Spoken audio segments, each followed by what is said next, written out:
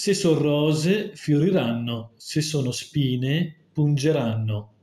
Un proverbio italiano popolare noto a tutti, soprattutto è conosciuta la prima parte, se sono rose, fioriranno. È un proverbio che si cita con l'intento di incoraggiare il proseguimento di un lavoro o di un progetto di cui il buon esito è condizionato dalla buona sorte o da logiche ed eventi che al momento non è possibile prevedere.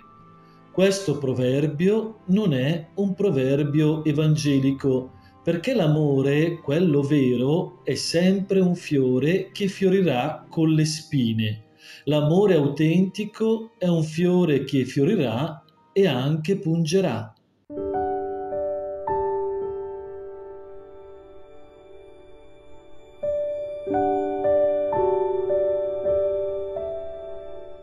Gesù ha moltiplicato i pani, ha camminato sulle acque e a Cafarnao, nella sinagoga, si fa conoscere per quello che è non ti tolgo le spine, non ti risolvo i problemi, non ti tolgo le malattie e le ingiustizie. Non ti converto tuo marito, non ti cambio tua moglie, non ti faccio vincere la lotteria, non ti tolgo i problemi. Sono Dio e sono così. Questo è il momento per mostrarti la mia vera identità, mostrarti chi sono veramente. E se per te è uno shock conoscermi per quello che sono, è un trauma che ti fa crescere. Sono Dio misericordioso, Dio dell'amore incondizionato. Sono pane, agnello immolato, e chi mangia di me, del mio amore, si trasforma in me e impara ad amare dentro le sofferenze, le malattie, le ingiustizie, con il perdono, dentro i problemi e le spine della vita. Questa rivelazione produce scandalo, fa inciampare e cadere. Questa parola è troppo dura.